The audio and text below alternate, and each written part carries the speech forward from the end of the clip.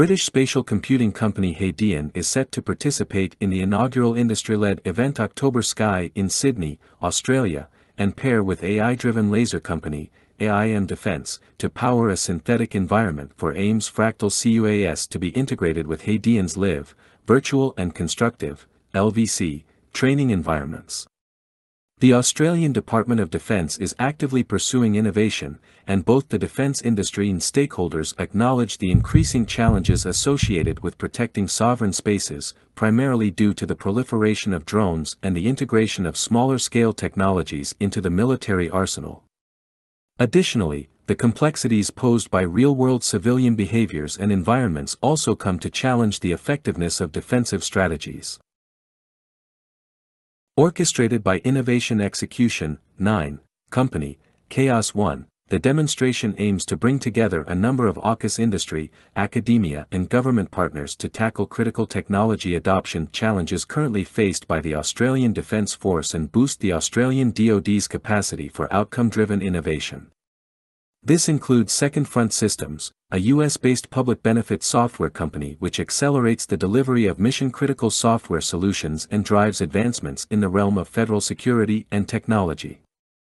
From the end of September, and for the duration of the two-week event, Hadean will work with Chaos One, AIM Defence, and Second Front to demonstrate the integration of the Fractl laser CUAS system in the real world into a common operating picture inside a virtual environment.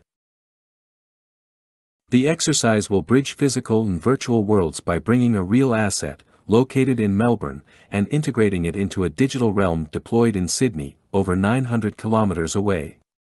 Focused on providing a solution to one of five strategically aligned technology objectives curated by Chaos One, sensor defeat, counter-crewed and uncrewed systems technologies, the experiment will showcase how integrated teams can rapidly translate emerging, digitally enabled technology into mission-viable capability for the end user. Hadean co-founder and CEO, Craig Beddis, said, enabling repeatable training for both humans and AI to operate novel high-energy CUAS capabilities in a safe and secure environment, with minimal risk, is critical given the increasingly important role of uncrewed aircraft in the modern battlefield. It's a huge privilege for Hadean to participate in the October Sky Experimentation Initiative and closely support our partners Chaos One and AIM Defence, as a technology enabler, in their mission to drive innovation in the Australian defence industry and overcome the strategic challenges of the Australian DoD. AIM Defence co-founder, Jessica Glenn, said, iteration pace is the key factor in AIM's success. Testing our systems in virtualized environments enables us to move significantly faster while also ensuring that the system is regularly encountering a wide range of operating scenarios.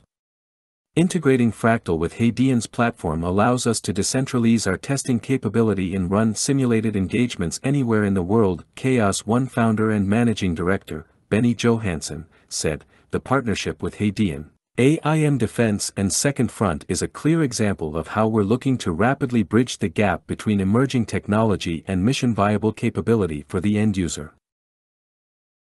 Through a trust-based partnership, we are excited to work alongside Hadean, AIM Defence and Second Front to solve some of defense's tough capability problems at the speed of relevance.